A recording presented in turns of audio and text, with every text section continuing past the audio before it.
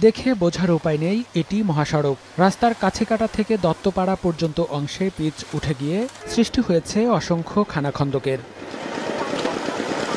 রাস্তা খারাপ হওয়ায় গন্তব্যে পৌঁছাতে দ্বিগুণ সময় লাগছে।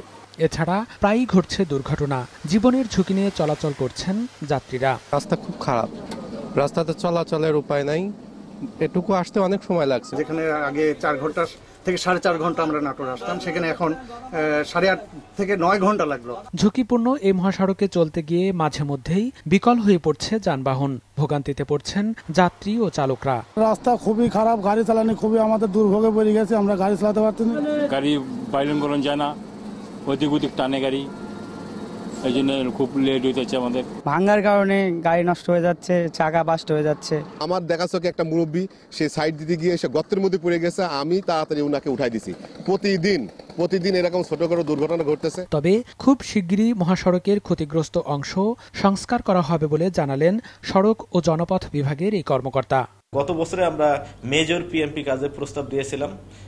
এবং সেটা কর্মসূচিভুক্ত হওয়ার ফলে একটা কাজ, কার্যাদেশ দেওয়া হয়েছে নয় কোটি টাকা ব্যয়ে।